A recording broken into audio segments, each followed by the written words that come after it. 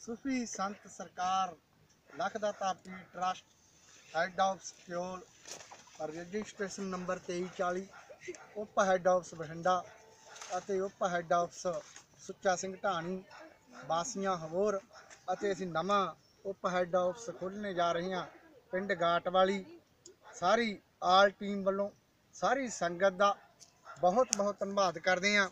ਬਹੁਤ ਬਹੁਤ ਅਸੀਂ ਸ਼ੁਕਰੀਆ ਅਦਾ ਕਰਦੇ ਹਾਂ। ਸਾਡੇ ਟਰਸਟ ਨੂੰ ਸੂਫੀ ਸੰਤਾਂ ਪੀਰਾਂ ਦਾ ਇੱਕ ਇਤਿਹਾਸ ਦਾ ਖਜ਼ਾਨਾ ਮਿਲਿਆ ਇਹ ਇਤਿਹਾਸ ਹੋਰ ਕਿਤੇ ਨਹੀਂ, ਸਾਡੇ ਟਰਸਟ ਕੋਲੇ ਹੈ।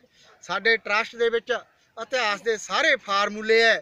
ਕਦੋਂ ਤੋਂ ਮਨੁੱਖ ਨੇ ਜਨਮ ਲਿਆ, ਕਦੋਂ ਤੱਕ ਮਨੁੱਖ ਕਿੰਨਾ ਚਿਰ ਪ੍ਰਾਚੀਨ ਭਾਰਤ ਤੋਂ ਲੈ ਕੇ ਈਰਾਨ, ਇਰਾਕ ਤੱਕ ਸਾਡੇ ਕੋਲੇ ਇਤਿਹਾਸ ਦਾ ਖਜ਼ਾਨਾ ਹੈ। ਸੂਫੀ ਸੰਤਾਂ ਪੀਰਾਂ ਬਾਰੇ ਸਪੈਸ਼ਲ ਸਾਡੇ ਕੋਲੇ ਇਤਿਹਾਸ ਹੈ, ਜੋ ਅਸੀਂ ਆਲ ਜੋ ਸੰਗਤ ਨੂੰ ਅਸੀਂ ਪੇਸ਼ ਕਰਦੇ ਹਾਂ ਤੇ ਸੰਗਤ ਕੰਨਿਓ ਚੰਗਾ ਸਾਨੂੰ ਰਿਸਪੌਂਸ ਮਿਲ ਰਿਹਾ ਹੈ। ਸਾਰੇ ਟਰਸਟ ਗਰੁੱਪ ਵੱਲੋਂ ਸਾਰੀ ਸੰਗਤ ਦਾ ਬਹੁਤ ਬਹੁਤ ਧੰਨਵਾਦ ਕਰਦੇ ਹਾਂ। ਬਹੁਤ ਬਹੁਤ ਸ਼ੁਕਰੀਆ ਅਦਾ ਕਰਦੇ ਹਾਂ। ਥੈਂਕਸ